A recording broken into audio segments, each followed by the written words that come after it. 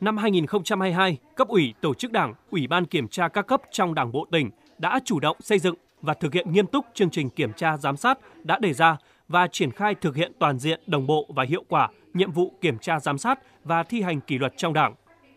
Trong năm, Ban Thường vụ tỉnh ủy và cấp ủy các cấp đã kiểm tra trên 1.300 tổ chức đảng và hơn 900 đảng viên, trong đó Ủy ban kiểm tra các cấp kiểm tra khi có dấu hiệu vi phạm đối với 32 tổ chức đảng và hơn 270 đảng viên, qua đó kịp thời phát hiện và thi hành kỷ luật đối với 4 tổ chức đảng và 188 đảng viên vi phạm.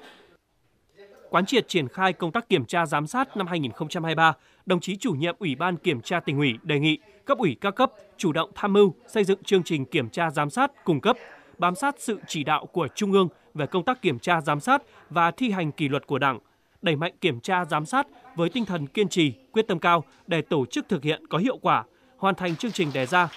chú trọng kiểm tra những lĩnh vực trọng điểm, vấn đề nổi cộm, tiếp tục đổi mới phương thức lãnh đạo của Đảng đối với công tác kiểm tra giám sát trong tình hình mới.